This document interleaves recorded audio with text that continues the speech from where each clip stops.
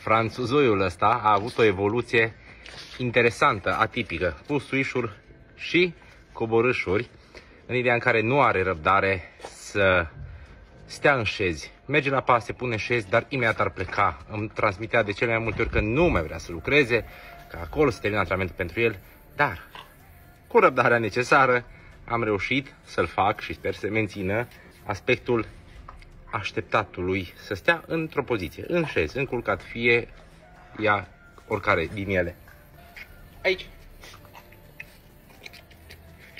Uitați câte dorințe de lucru pe capul lui. Max. Șezi. Încearcă varianta lui, să vadă. Iese sau nu iese. Bravo. Șezi. Pas.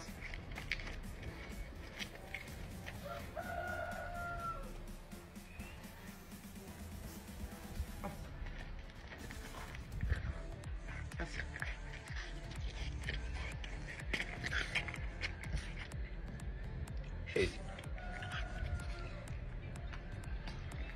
Ca să întărim comportamentul, ca să întărim ideea de a sta în șezură atunci când ne oprim, pentru unii câini e nevoie de mai multe sesiuni de dresaj. Chiar dacă facem exact același lucru, repetăm, repetăm, repetăm, până devine un automatism pentru câine. Max, pas, bravo.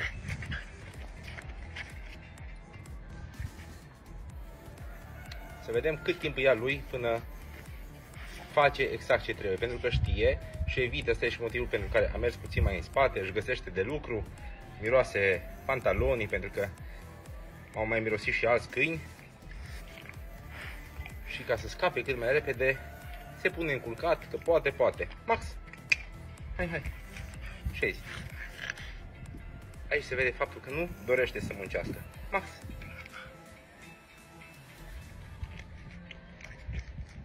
S-a ridicat. Șezi. Nu-i voie. Șezi. Nu toți câinii sunt la fel, cu unii e nevoie de extraordinar de multă răbdare, iar Max e unul din acei câini. Max, pas. Da.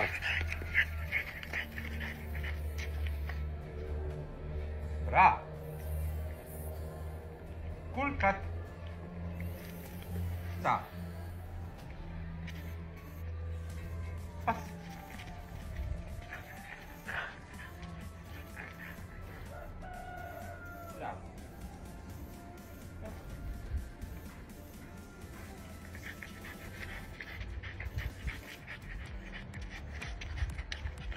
Așteaptă.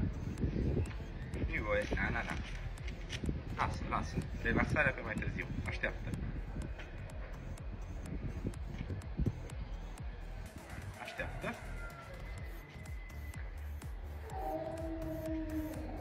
Bravo. Pas. Șezi. Chiar dacă nu-și dorește să muncească, de datoria noastră este să ne facem treaba până la capăt. Banditule. Ești un bandit. De cât e de bandit, pe atât e de drăgăstos și apelează la tertipuri. Hai să ne iubim, hai să ne drăgălim, hai să facem orice altceva în afară de muncă. Dar Max, tată, fără muncă nu se poate. Așa că dacă aveți un câine încăpățânat sau care nu e dor de lucru, trebuie să acordați mai mult timp, mai mult răgaz, mai multă răbdare. Vă țin pumnii, numai bine, sport!